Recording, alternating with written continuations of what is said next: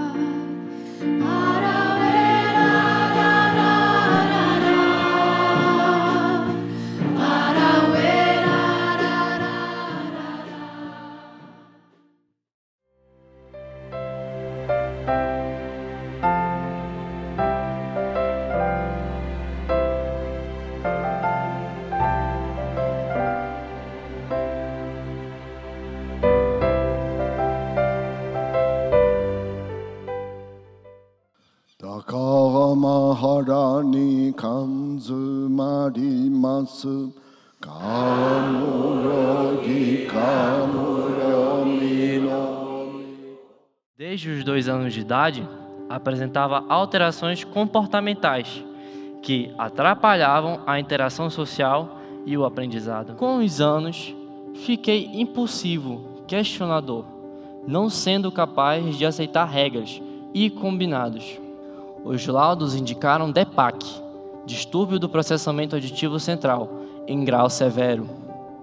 Ao mesmo tempo, foi detectado o transtorno do espectro autista e TDAH, transtorno de déficit de atenção e hiperatividade.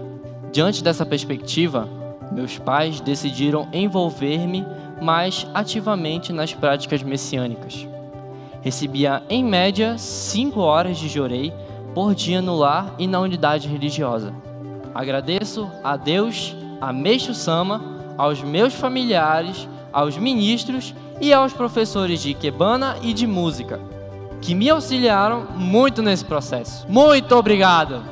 Meixo Sama realmente mudou minha vida e a de minha família. Saí de uma casa de papelão e zinco, de relacionamentos fracassados e de uma família desajustada para um lar verdadeiramente paradisíaco. Além do mais, a luz divina gerada por meio do servir purificou meu espírito e permitiu que eu encontrasse a felicidade, a gratidão e o compromisso para com o bem-estar do próximo.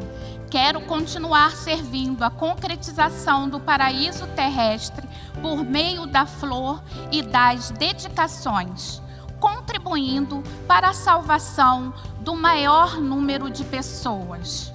Muito obrigada.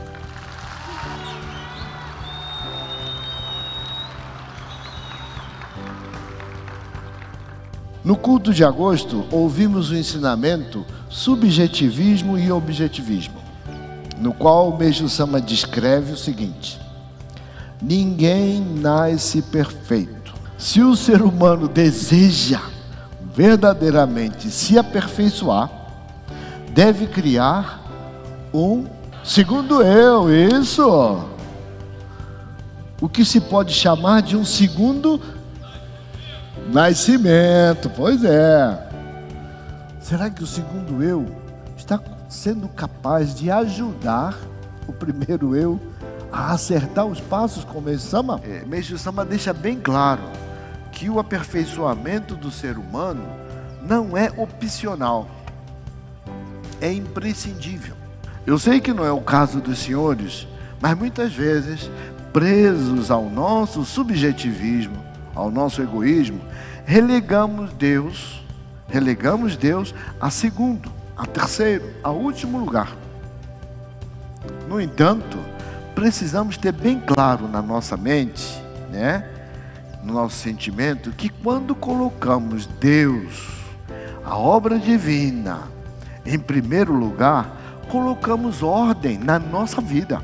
Segundo o Meio Sama, Deus é um grande artista que está pintando um quadro chamado O Mundo. Se pensarmos bem, ao mesmo tempo que servimos como instrumentos de Deus para pintar esse quadro, na composição dessa maravilhosa pintura, nós também fazemos parte dela. Somos pontinhos, pessoas importantes, peças importantes que vão dando forma a essa obra maravilhosa. Não podemos ficar simplesmente esperando o mundo ideal chegar.